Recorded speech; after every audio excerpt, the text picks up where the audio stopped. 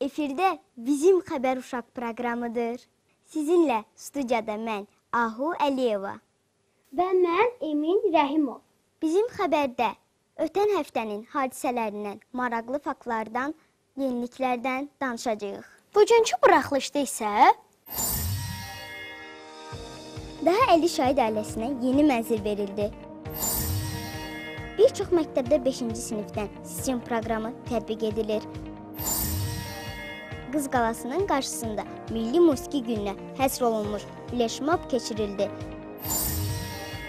Bakıda 6-cı anima film beynəlxalq animasiya festivalı keçirildi. Braziliyada unikal heyvan tapıldı. Sentyabrın 21-də beynəlxalq sülh günü qeyd edildi. Şahmatçılarımız Avropa çempionatında 7 medal qazandılar. Cüdoçularımız vətənə qələbə ilə qayıtdılar. ölkə başçısının göstərişinə əsasən şəhid ailələri və müharibədə əlil olan şəxslərə daha 50 mənzil verildi. Bu barədə həmkarımız Rızanın sujetində.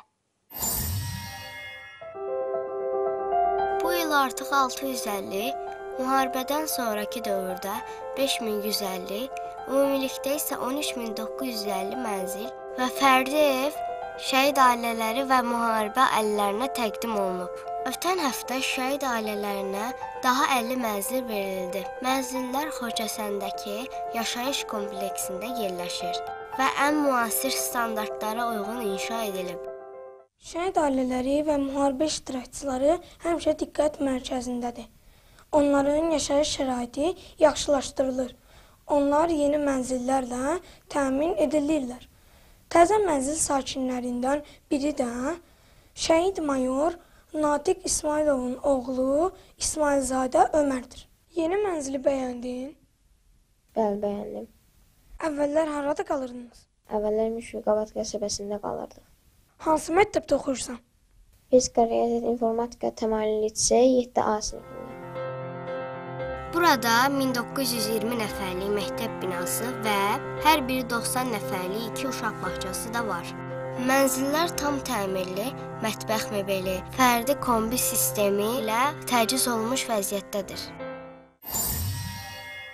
Bakıda bir çox məktəblərdə STEM proqramı ilə tədris aparılır. STEM proqramı nədir? Bu barədə müxbirimiz Banu xəbər verəcək. Aldığımız məlumata görə məktəblərdə STEM proqramı tədris olunacaq. Həmin məktəblərdən biri də 20 nömrəli məktəb liseyidir. STEM haqqında məlumatı bizə Çinarə xanım deyəcək. STEM təhsil metodu elm, science, texnologiya texnology, mühəndislik, engineering, riyaziyyatın məhz, art incəsənətin birgə təşkil olunmuş fənlərarası inteqrasiya və real həyata problemlərin həllinə yönəlmiş şagirdlərlə layihə əsaslı öyrənmə metodudur. Məktəblərdə hansı siniflərdə keçirilir? STEM ə, Azərbaycanda 2019-cu ildən bəri tədris olunur. Ə, keçən il 6-cı siniflərdən 9-cu siniflərə qədər əhatə edirdi, amma hal-hazırda bu ildən 2023-2024-cü il tədris ilində isə 5-ci sinifləri də əhatə edir. Təhsil Nazirliyi yeni modellər üzərində araşdırmalar aparır. Elə bu məqsədlə də 2019-2020-ci tədris ilindən başlayaraq Heydər Əliyev fondunun dəstəyi ilə STEM Azərbaycan layihəsinə start verilib. Layihənin keçirilməsində əsas məqsəd məktəblərdə təhsil alan şagirdlərin 21-ci əsr bacarıqlarını inkişaf etdirməkdir. STEM-də biz 6-cı sinifdən bu yana bir çox proqramlar öyrənmişik, hansı ki bunlardan biri də CNC lazerdir. Biz CNC lazerdən müxtəlif modelləşdirmələr eləmişik, hansı ki buna müzürümüz daxildir. E, biz bir qutu düzəltmişik, bunu taxta ilə kəsim eləmişik. Bundan başqa xarı bülbülü də biz onun üzərində çizməklə eləmişik. Yəni bu CNC lazer aparatı ilə birlikdə işləmişik. Bundan əlavə biz e, Tinkercad proqramında da işləməyi bacarırıq və biz burada 3D modelləşdirməni öyrənirik. Gördüyünüz bütün bu layihələr e, biz birgə əməkdaşlıqla etmişik və məhz e, Tinkercad proqramından istifadə edərək e, bu cür layihələri hazırlaya bilərik. Biz burada ə, proqramlaşdırmağa başlayırıq və işimizi qutarandan sonra biz bunu kompüterə endiririk. Daha sonra da həmin bu faylı biz ə, bu bir plataya qoşuruq və nəticədə də bizim layihəmiz sona çatır. Dostlar, bildiyiniz kimi bu il ulu öndərimizin 100 illiyidir. Respublikamızda çoxlu tədbirlər keçirilir. Kitablar buraxılır. Təhsil nəşriyyatında uşaqlar üçün ulu öndərimizə həsr olunmuş kitab buraxılıb. Bu barədə müxbirimiz brilliant xəbər verəcək. Təhsil nəşriyyatı artıq 30 ildir ki, fəaliyyət göstərir. Nəşriyyatın çap məhsulları ölkə və bir çox beynəlxalq miqyaslı müsabiqələrin qalibi olmuşdur. Nəşriyyatın özəlliyi ondan ibarətdir ki, burada çoxsaylı redaksiyalar, mətbəə, həm də kitab evi adlı mağazası var. Təhsil nəşriyyatının yeni hazırladığı kitab isə Ulu Öndərin 100 illiyinə həsr olunub və Lider adlanır. Kitab məktəblilər üçün nəzərdə tutulub. Baxın, nə gözəl kitabdır. Mən bu kitabın müəllifi Təhsil nəşriyyatının baş redaktoru Gülər Mehdiyeva ilə görüşdüm. Yaxşısı budur, özü bu haqqda məlumat versin. Gülər xanım, kitabın ideyası necə yarandı? 2023-cü il bildiyimiz kimi Heydər Əliyev ili elan olunub. Bizim də nəşriyyatımız istədi ki, bu ilə öz töhfəsini versin. Nəşriyyatımızın baş direktoru Tural Axundov mənə müraciət elədi və dedi ki, Gülər xanım, istəyirəm biz uşaqlar üçün Heydər Əliyevin həyatından bəhs eləyək. Cəhət nədir? Kitabın fərqli cəhətini soruşdum. Kitabın fərqli cəhəti odur ki, o bizim bütün yaxın tariximizi əhatə eləyir və dəqiqliklə əhatə eləyir. Heydər Əliyev elə bir şəxsiyyətdir ki, onun həyatı bizim bütün tariximizlə, yaxın tariximizlə bağlıdır. Ona görə də onu oxuyan hər bir kəs həm tarix öyrənir, həm də Heydər Əliyevin həyatı ilə tanış olur. Sentyabr 18-də bütün xalqımız Milli Musiqi Gününü qeyd edib. Qız qalasının qarşısında tədbir keçirilib. Bəli, həmin tədbirdə mən də iştirak etdim. Nur uşaq xoru ilə birlikdə. Gülay da o tədbirdə olub və reportaj hazırlayıb. 18 sentyabr xalqımız üçün böyük bayram günüdür. Bu gün dahi Üzeyir Hacıbəylinin doğum günüdür. 1995-ci ildən bəri xalqımız 18 Milli Musiqi Günü kimi qeyd edib. Mahnı və rəqs ansamblı haqqında nə deyə bilərsən? Azərbaycan və Rəqs Ansamblı 2010-cu ildə fəaliyyət başlamışdır. Burada 3-15 yaş arası qızlar və oğlanlar rəqs dərsləri keçilir və ə, eyni zamanda bu rəqs ansamblının Türkiyədə, Bolqarıstanda, Hindistan və sair kimi ölkələrdə çıxış etmişdir və uğurlu nəticə qazanmışdır. Avropanın 200-150 ilə keçdiyi yolu Üzeyir bəyin sayəsində Azərbaycan 50-70 ilə keçib. Məhz buna görə də Üzeyir Hacıbəyov Azərbaycanın banisi hesab olunur. Sentyabrın 18-dən 28-nədək Heydər Əliyev Fondunun və Mədəniyyət Nazirliyinin təşkilatçılığı ilə e, Üzeyir Hacıbəylinin 15-ci festival keçiriləcək. Bu festival Şəmkir, Bakı, Şuşa və Gəncə şəhərlərində keçiriləcək. Xarici ölkələrdən qonaqlarımız Fransadan, Amerikadan, Gürcüstandan qonaqlarımız olacaq. Üzeyir bəy ilk operasını Füzulinin əsərinin üzərində yazıb. Hətta demək istəyirəm ki, məşhur alman şairi Höte demişdir ki, mən xoşbəxtəm ki, şərqdə doğulmamışam. Əgər şərqdə doğulsaydım bu qədər dahi şairlərin, dahi isimlərin Füzuli kimi, Nizami kimi şairlərin içərisində itəcəkdim. Sentyabrın 6-sından 10-nadək Bakıda 6-cı anima film Beynəlxalq Animasiya Festivalı keçirildi. Bu barədə sujetimiz var. Sentyabrın 6-sından 10-una dək Nizami Kino Mərkəzində 6-cı Beynəlxalq Animasiya Festivalı keçirildi.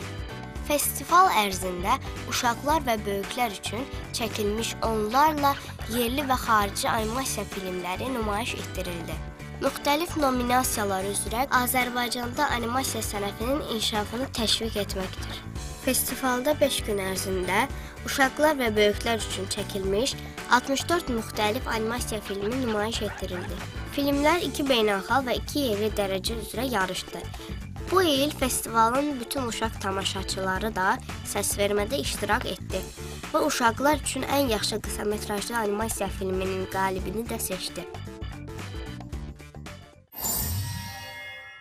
Braziliyada qeyri-adi heyvan aşkar edilib.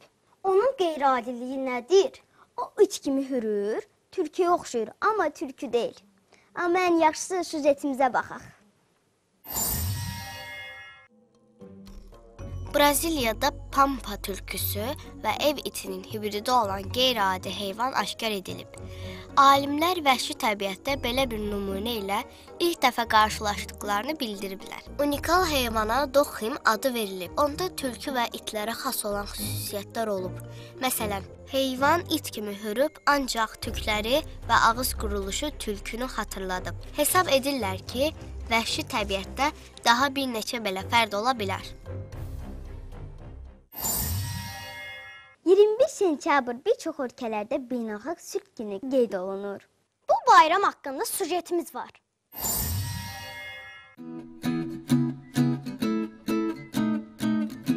Beynəlxalq Sülh Günü 1981-ci ildən BMT-nin qərarı ilə bütün dünyada qeyd olunur. Dünyanın 192 ölkəsi bu qərarın lehinə səs verib. Bayramın əsas məqsədi o idi ki, heç olmasa ildə bircə gün bütün dünyada müharibələr dayansın, atəşkəs olsun. 21 sentyabr nəinki yalnız xalqlar arasında, həmçinin ailələrdə, məktəblərdə zorakılığa qarşı elan edilən gündür. Bu gün hamımızın əsas məqsədi planetdə yaşayan insanın yaşından, irqindən, millətindən, dinindən və cinsindən asılı olmayaraq sülhə çağırmaqdır.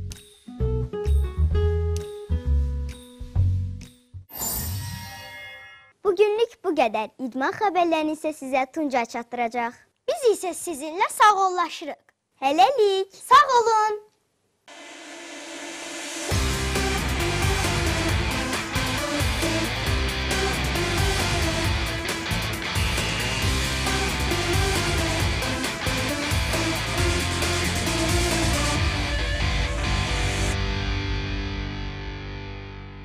Salam dostlar. Sentyabrın 14-də Rumıniyanın Mamaia şəhərində yeniyetmə şahmatçılar arasında keçirilən Avropa çempionatı başa çatıb. Turnirdə 8, 10, 12, 14, 16 və 18 yaş kateqoriyalarında qitənin ən yaxşı iti zəka sahibləri seçilib. Bu çempionatda 44 şahmatçımız medallar uğrunda mübarizə apardı. Azərbaycan şahmatçıları mötəbər yarışda böyük uğurlar əldə ediblər. Məhəmməd Kazımzadə və Mehriban Əhmədli hər iki 8 yaş kateqoriyasında, Əhməd Xaqan 12 yaş, və Rüstəm Rüstəmov 14 yaş kateqoriyasında bütün rəqiblərini qabaqlayaraq qızıl medal əldə ediblər. 18 yaşlılar arasında çıxış edən Ayam Allahverdiyeva və Xəzər Babazadə gümüş medal, 12 yaşlı qızlar arasında isə Səadət Bəşirli bürünc medal qazanıb. Beləliklə Azərbaycan şahmatçıları 4 qızıl, 2 gümüş və 1 bürünc medal əldə etməklə ümumilikdə 7 medal qazanıb.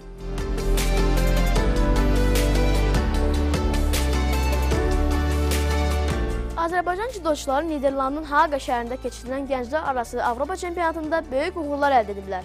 Komandamızın 7 üzvü medallar uğrunda mübarizə aparıb. Oğlanlar sırasında Nizami İmranov 60 kiloqram bütün rəqiblərini yerə yıxaraq qızıl medala sahib olub. Aydın Rızayev 66 kiloqram gümüş medala və Aydan Vəliyeva 52 kiloqram bürünc medala sahib olub. Mən sizinlə sağollaşıram. Hava haqqında məlumatı isə sizə Firuzə çatdıracaq. Hələlik.